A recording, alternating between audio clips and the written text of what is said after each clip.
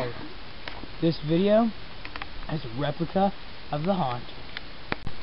So I heard you had a ghost encounter. Is this true? Yeah, it was a couple months ago.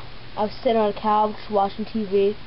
All of a sudden, I started hearing these weird, strange banging and clanging sounds. One thing, my door opens and like nobody's at, like somebody knocks on the door and I open it, nobody's there.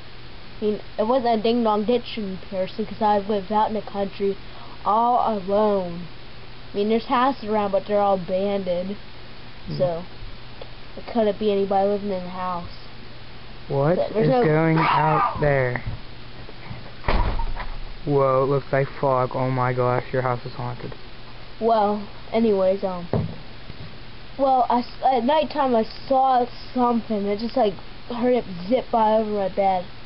Scared the crap out of me. Then it wrote "kill" on the window or flood. That's weird. I think you need to get a ghost box is what I think.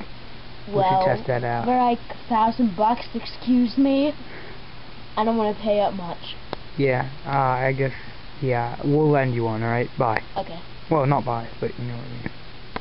So, sir, what are you, what are you working on? a piece of crap that made a full sound. Wow. What the? What the heck? Nobody's there to just throw it to you. Where'd that come from? I know. It was weird. It looks like they were trying to hit you right in the head with it. I was working on this one time. Hit the two skulls get down. I think your house is haunted, man. Oh, oh, I know it's haunted. After that series, the first night, it's definitely haunted. Gosh, just piece of crap. Alright. Well. So, man, your house is like all haunted and everything. Yeah. It's insane. Just pushing a stroller, man. Nobody's. What the? What the heck? Did you see that, man? It just disappeared, man. It threw your thing clear over there. Holy crap. Right here.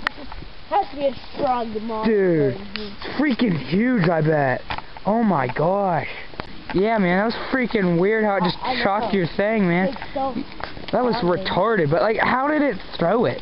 Like, that was weird.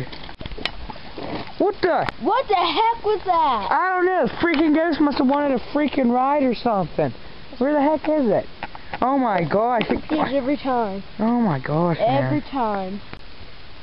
Get off my property! You're gonna have a call an exorcism. Now!